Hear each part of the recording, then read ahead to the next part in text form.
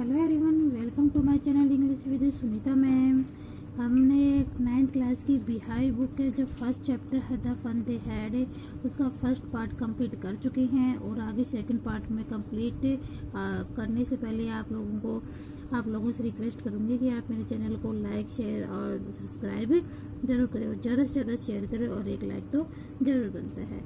Okay guys so हम आगे आगे बढ़ाने से पहले आपसे पीछे का थोड़ा सा डिस्कशन कर लेते हैं कि किस तरह से जो टॉमी और मार्जिन है, वो आगे फ्यूचर की जो क्लासेस होती हैं, उसको किस तरह से अटेंड करते हैं?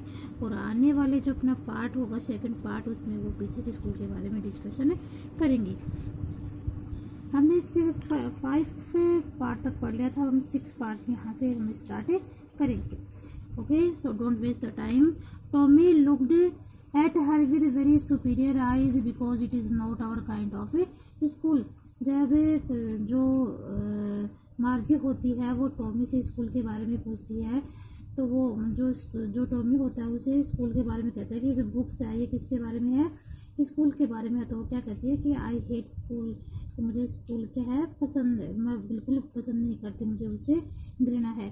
तो वो फिर वो कहता है कि टॉमी लुक एट हर उसकी ओर टॉमी है, उसकी ओर देखता है विद वेरी सुपीरियर आइज़ यानी कि एक, वो कहते हैं ना, बिल्कुल आश्चर्यचकित होके, बिल्कुल बेटर बेटर वाली आई से और आश्चर्यचकित होके वाली आई से उसको देखता है।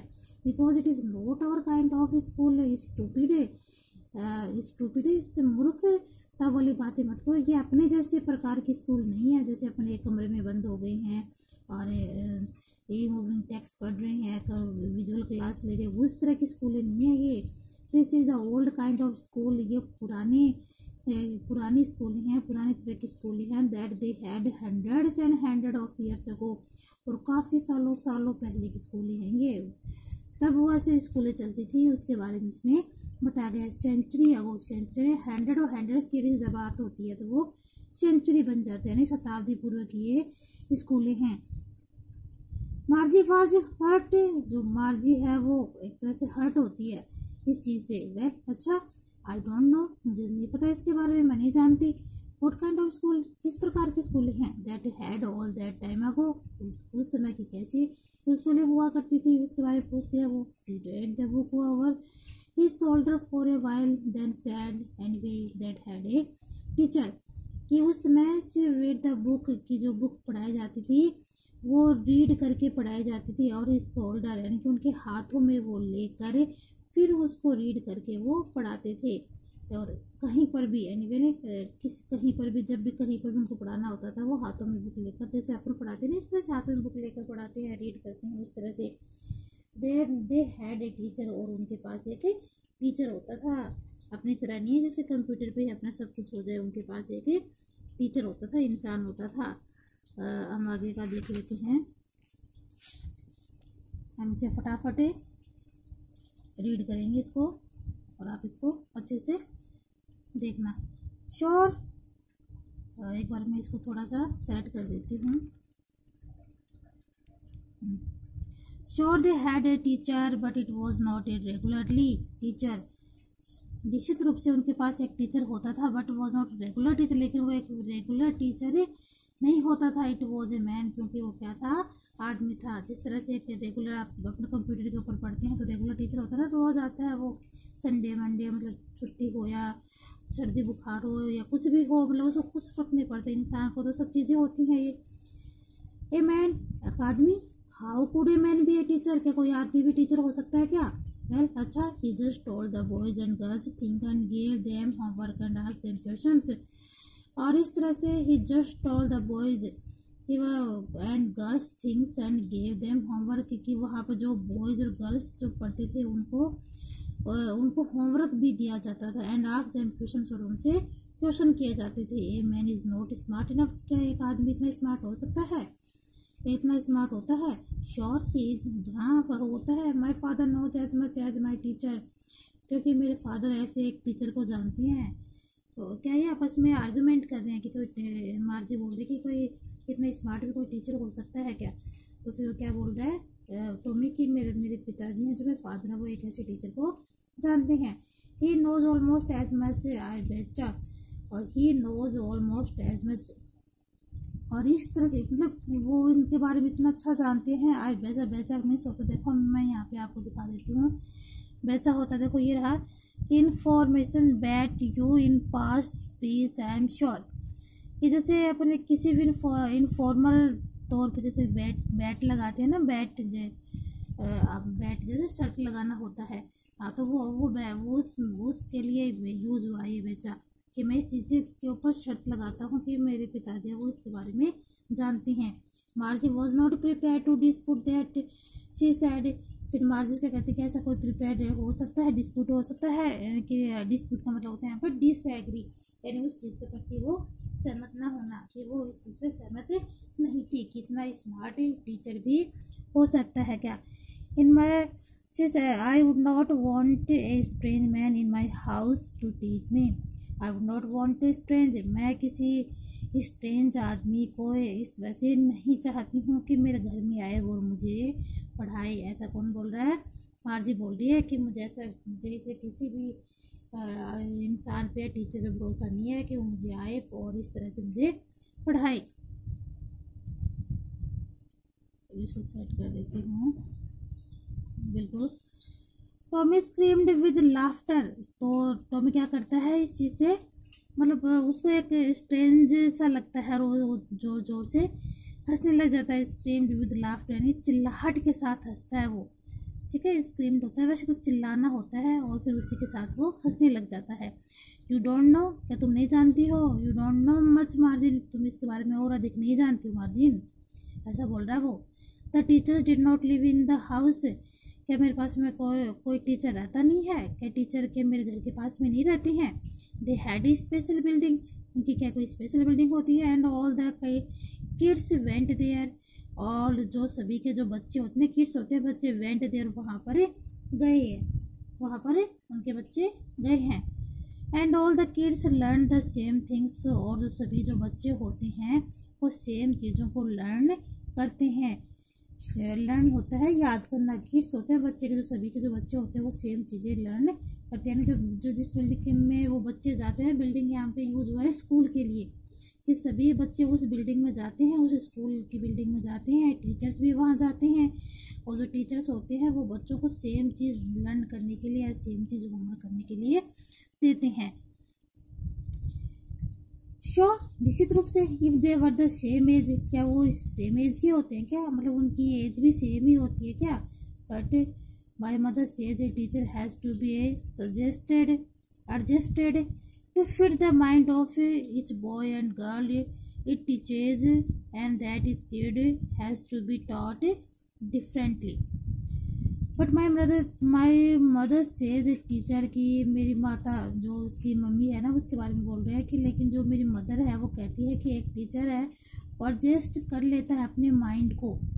तो इस बॉय एंड गर्ल जो जहाँ पर वो पढ़ाने जाते हैं ना, जिस बिल्डिंग में जहाँ पर वो जो बच्चे पढ़ने के लिए आते हैं बॉय आते हैं गर्ल्स आते हैं, उनके अकॉर्डिंग अपने माइंड को वो एडजस्ट कर लेता है। थोड़ा सा इसको सेट कर देती हूँ।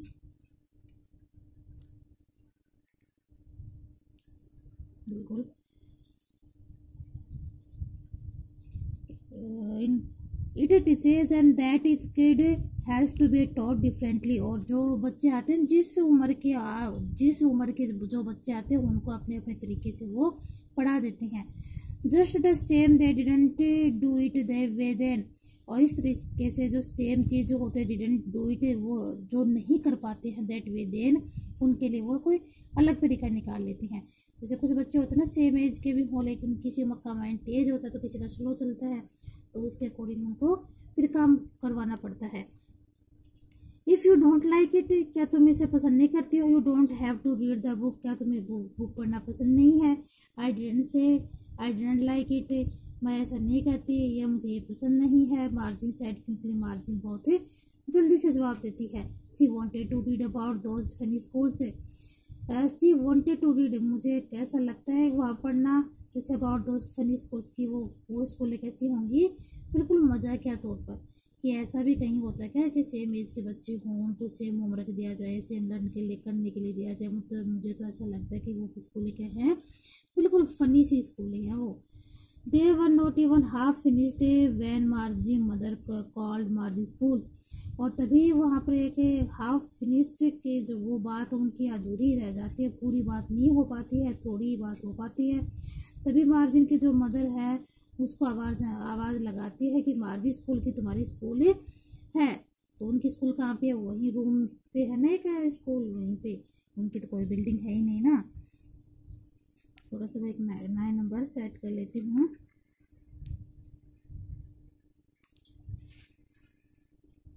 माजी लुक डक माजी जल्दी से उसको देखते हैं। नोट एट मम्मा ओ हो मम्मा अभी नहीं। उसकी माँ मम्मा उसको आवाज़ लगाते हैं, तभी कहते हैं, मम्मा, नहीं। Now said Mrs John and it's probably time for tomato और मुझे ऐसा लगता है कि मिस्टर जॉन ने भी मिसेज जॉन कहती है कि अब शायद टोमी की भी क्लास का टाइम हो गया है। मार्जी से टू टोमी मार्जी है। है, वो टोमी को कहते can I read the book some more with you after school क्या तुम मुझे इस बुक के बारे में स्कूल के बाद में बता सकते हो?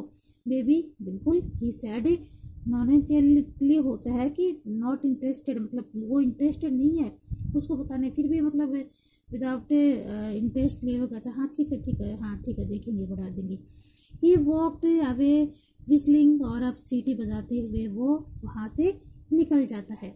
The dustily the dusty old book tucked beneath his arm और जो डस्टी जो ओल्ड बुक है, पुरानी सी धुंधली सी जो बुक है, उसको अपने आर्म के नीचे फंसा के, अपने बाजू में फंसा के वहाँ से निकल जाता है।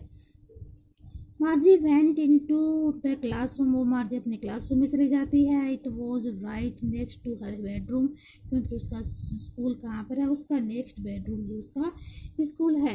And the mechanical teacher was on and waiting for her उसका जो मैकेनिकल टीचर है, उसके लिए क्या कर रहा है? इंतज़ार कर रहा था। It was always on at the same time every day expect Saturday and Sunday और हमेशा उसका इसी समय पे जो मैकेनिकल टीचर है, उसका वेट करता है किसको छोड़कर? सैटरडे और संडे को छोड़कर। सैटरडे और संडे को उसकी छुट्टी रहती है। अब हमें लास्ट जो हमारा वो हम देख लेते हैं।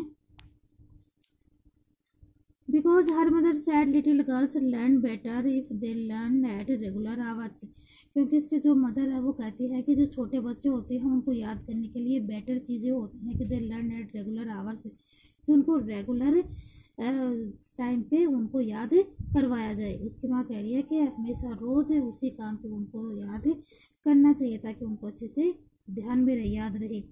The screen was lit up जो स्क्रीन है उसकी चलने लग जाती है चल रहा है, यानी वो ऑन हो गई है ना, और चलने लग जाते हैं, अपना काम करने लग जाए मूव हो गई है। एंड इट सेट और कहती है today arithmetic lesson is on the addition of proper fractions please insert your study homework in the proper slot कि आज का जो तुम्हारा लेसन है, वो क्या होगा? अर्थमेटिकल लेसन होगा। एडिशन ऑफ़ प्रॉपर फ्रिक्शंस यानी उसके अंदर जो अर्थमेटिक लेसन है, उसी में कोई ऐसा टॉपिक होगा, जिसका टॉपिक का नाम है एडिशन ऑफ़ प्रॉपर फ्रिक्शंस में। और please in insert yesterday homework in the proper slot और तुम्हारा जो स्लॉट लिया गया है उसको, उसका जो होमवर्क है, जो कल का होमवर्क है, उसको तुम्हें इंसर्ट कर दो, यानी उसको सबमिट कर दो। मार्च डेढ़ सौ विद